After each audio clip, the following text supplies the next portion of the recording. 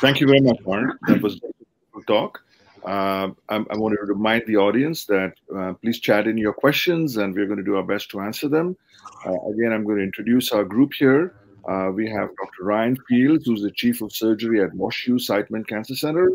Uh, we have Dr. Arndt Vogel, who's a hepatologist at University of Hanover in Germany.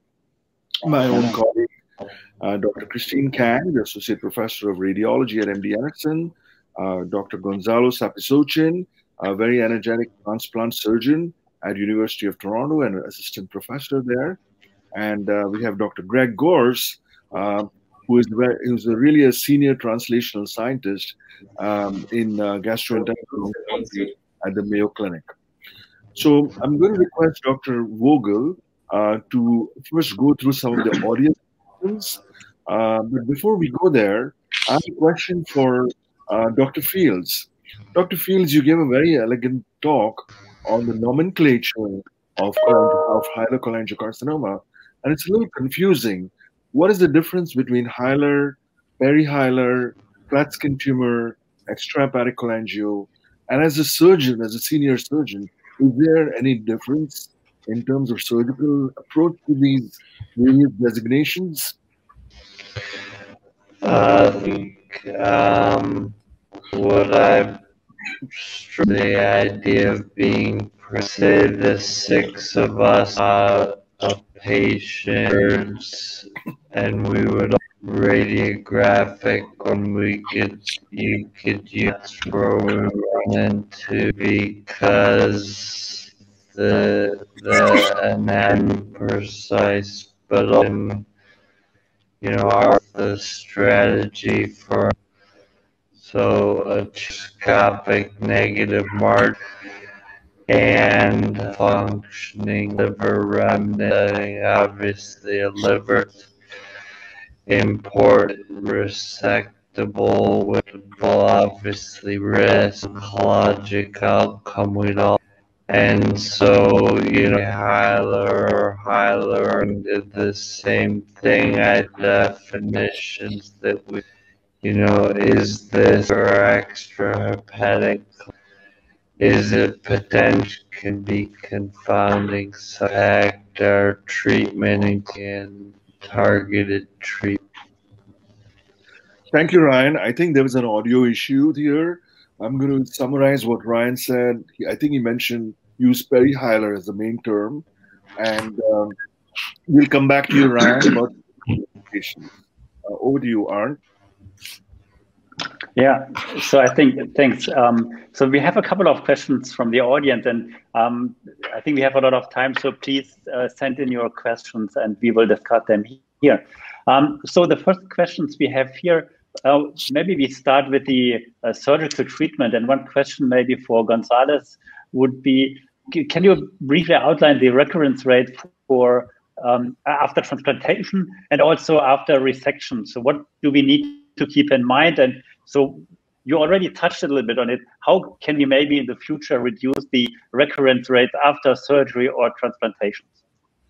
Yes, thank you, uh, Arndt. Uh, that, that's a, an important question. So, I mean, we know that after uh, surgery, the recurrence rate is, is, is, pretty high, and some series have, you know, defined even 80%. And I think one of the issues with surgery that we definitely um, find ourselves with is that sometimes achieving R0 resection is a challenge, and that's, I think, where the concept on on transplanting patients with de novo cholangiocarcinoma comes into place. I think on the surgical arena, you know, I think as a surgical oncologist and transplant surgeon, we, you know, we're all adamant to to work together with with you and and medical oncologists to try and find neoadjuvant therapies. I think that's maybe um, where the field is moving, and, and I think we need more research in that regards. And I think that it's what's likely going to make us reduce the recurrence rate. I think you know data from the BILCAP trial that some have adopted, but uh, you know we we start we do treat patients after surgery uh, with capecitabine, but obviously that's not enough. We know, all know that. So I think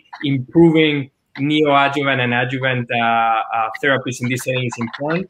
Uh, after transplant, the recurrence rate, you know, reported again from the Mayo Clinic, which is the um, you know the main the team that has the largest volume, the disease-free survival at five years around 65 to 70%, uh, so around 30% recurrence. And again, I think even though we are treating these patients with appropriate neoadjuvant therapies, we still need better therapy. So I think systemic is going to be the way uh, to improve the, the five-year outcomes in terms of recurrence. Yeah. yeah, I completely agree. And I think the field is indeed moving to the adjuvant and maybe even more to the neoadjuvant treatment. And maybe here one follow-up question to Milind. I think in pancreatic cancer, we have seen that clinical trials are possible. And it's good to hear that Gonzalo said that also the surgeons are ready for neoadjuvant strategies. Nevertheless, the outcome is a little bit not really disappointing, but we do not really see so far with the available chemotherapies such a breakthrough in terms of improvement of disease-free survival or overall survival. So in, in biliary tract cancer, do you think that we are already at a point that we can think about neoadjuvant concepts or do we need to wait for more effective chemotherapies? Well, I certainly think that we should. I mean, I'm going to let Ryan pitch in as well. I mean, I think we have learned from pancreas is that neoadjuvant therapy made downstage, but more importantly, it identifies who are the right candidates for a major resection. Uh, pretty much like we did in the series in Mayo. That is, patients they are not ideal transplant candidates. Uh, Ryan, are you? Uh, can I ask everyone other than talking? Uh, Brian, could you comment on your view of adjuvant for cholangiocarcinoma? Is this the way to go? Still working better now.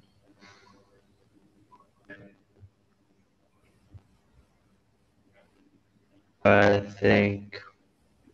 I'm sorry, Ryan. Chat in your chat in your answers, and I'll read them. Um, we have a question here to um, uh, Greg. Uh, Greg, you know, I think this question is related to brushing and cytology. So I'm going to ask you. Uh, uh, I mean, are there is there a group of people, whether it's diagnosis, whether it's FISH or whether it's cytology, and will you at some point say now we should treat them as cholangio? And as a second part B of the question is, is cytology useful for following the outcome of therapy in these patients? Like, can you do cytology and see is getting better? Yeah, thank you. Um, so just both questions. Um, so the, the diagnosis of perihilar cholangiocarcinoma is, requires sort of a gestalt, right? It's not one single piece of the puzzle, but rather the composite puzzle uh, that's important for making the diagnosis. So as, as Dr. Kang uh, nicely showed, if you have a mass and you have a perihilar um, obstruction, uh, this is cholangiocarcinoma. I've only rarely been fooled.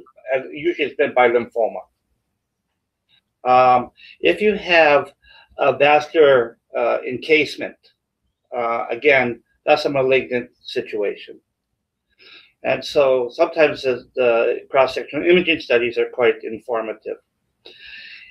If you don't have a mass, you don't have vascular encasement, and then you need to exclude IgG4 disease, um, uh, which uh, is, is, relatively common, especially in elderly men. And if you can if you can exclude that, uh, then and your brushings and your cytology are negative, uh, we would rely on the CA19-9 or, or, or, progression of the stricture. So the CA19-9 is quite high. We would we would also call that cholangiocarcinoma or if the stricture is progressing up the ducts. If there's no stricture progression and all the cytology and FISH are negative and IgG4 is normal, um, and, and there's no vascular encasement, we would follow those patients over time. Um, Thank you. Thank you, Brad. And, and I, I don't think that brushings at the t- following on treatment are useful because this is a tumor that's also also outside the bile duct and and often you have a stent in there and it denudes epithelium. So I haven't found the second or third or fourth uh, cytology to be as good as the first. Great. So maybe I have here a follow up. Maybe I have a follow up question here to to yeah. Greg. So when we not do, I mean, I, I, completely agree that we would not do the brushing on treatment. But what what is your opinion about um, intraductal therapies? Um, I think we for for a time we used photodynamic therapy then some of our colleagues use intraductal RFA. So, what is your opinion about these intraductal therapies, which I think we do not have any good evidence uh, when we look at the most recent trials, but it, it still seems to be used by some of our colleagues. Yeah, well, I, I agree with you that um, I, I don't think they're well validated nor established. Also, I don't think that from a tumor biology perspective that they get enough uh, of, of the depth of penetration to really be useful, and we've abandoned them as well. Great. Yeah. Well, I, I, just want to remind everyone time is limited. We have lots of questions. So I really want everybody to be able to pitch in. Uh, Christine, it's a little confusing. I mean, your talk was just extremely elegant, but how do we decide? Is it PET scan, MRI, CT, uh, all of the above? Like, how, how do you, what is the ideal test? And what is the ideal test for follow up when we actually don't see the tumor shrink? Right. So I think PET CT has a very limited role for perihilar cholangio. Uh, useful. Um, regarding CT versus MRI, it really is important to find out what type of MRI and what type of CT. So they have to be extremely high quality. A regular, you know, five millimeter portal venous CT is obviously going to be much worse than an MRI. And a lot of the older studies compared, you know, the old CT versus MRI and CT is always going to be inferior to that. But if you do high resolution CT at one millimeter cuts with four different phases, you can actually get a higher resolution with MRI with respect to you know the soft tissue budding or encasing a particular hepatic artery um, or what it's doing to the portal vein. You can see peritoneal implants much better as well. Um, the invasion into the liver sometimes you can see better. But it's all in either one. It's really important to try to get the imaging before you, any intervention has been done, before the stent's been placed, uh, before any biopsies have been done. You always get inflammation after that, which can sort of obscure things as well. It depends on the institution and depends on your imaging equipment and what image quality you're able to achieve. So maybe one follow-up question here as well. There was one question regarding the value of uh, PET scan so can you maybe comment on this to which extent this could be really helpful in the pre-surgery setting, for example, to detect um, extrahepatic or extraductal metastases? It, so PET scans are helpful for detecting uh, distant disease, for helpful for METs. Uh, for intrahepatic, uh, intrahepatic cholangiomas are often FDG avid. Hilar cholangiomas are often not. So they're not very helpful for extent of disease or even presence of disease sometimes. Um, I, would say they wouldn't be able to help you define uh, cholangio versus an inflammatory stricture because both are going to be similar looking. Um, for intrahepatic, they may be more helpful, and they can be helpful in the recurrent setting after surgery. So we have a couple of questions really for surgeons. Ryan, I don't know if you, your audio is working, but it, it sort of brings up the question about, well, when you get chemo and the cancer get worse, in the meantime while you're waiting for surgery that arrives that you know there's a sense of apprehension is this the right thing to do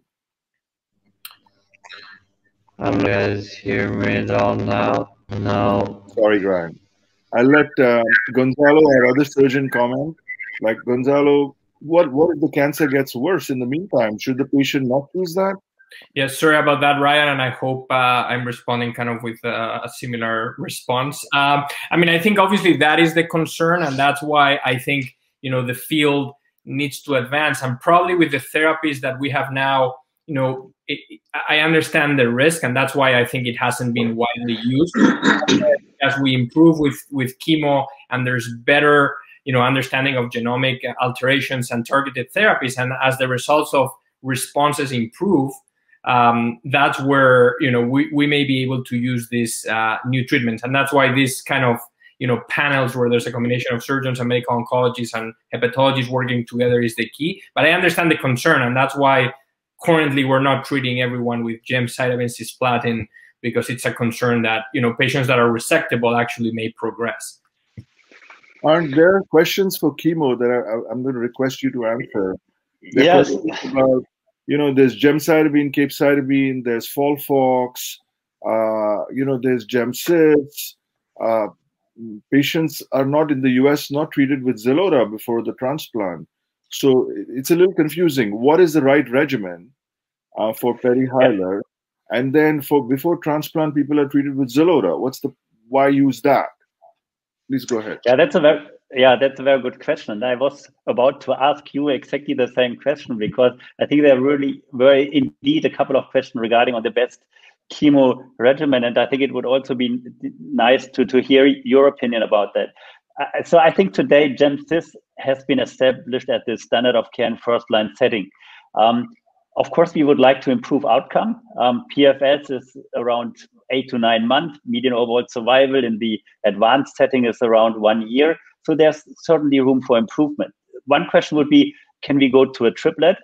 I think the, the use of FOLFIRINOX or FOLFOXIRI as in pancreatic cancer um, has been tested by our colleagues in, in France. And the, the phase two study was not very successful, unfortunately. Therefore, they will not continue with the phase three trial. Um, we have seen interesting data for um, GemCis and Abraxane. So again, the triplet could be an option for really fit patients. And uh, the data that have been published so far would look really um, interestingly. But I think outside of clinical trials, the majority of patients should get a doublet. Personally, I do not think that Xeloda would be the preferred choice. I do think that what we have seen from the very early trial that 5FU and gemcitabine are equivalent in efficacy.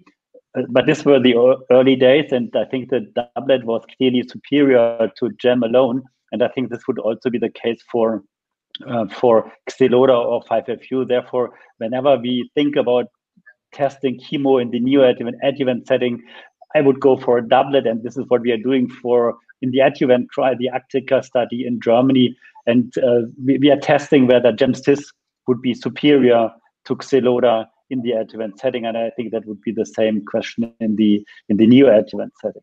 I'm afraid we have time to just one question, and uh, Greg, I'm, I apologize, but the question is also for you.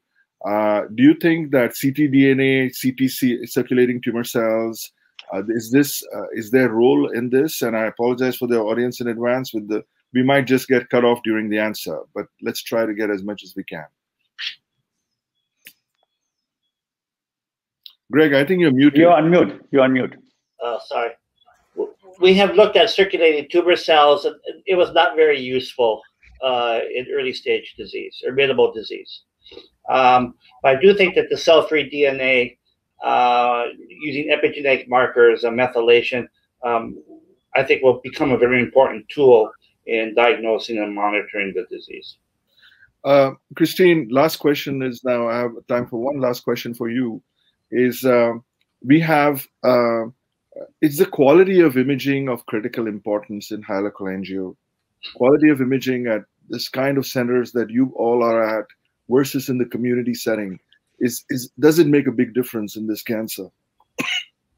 It does, and it does. Uh, it will depend on the cancer. Depends on how big the cancer is. So if the cancer is big and ugly, then you know anyone can diagnose it, and we know it's not going to be resectable.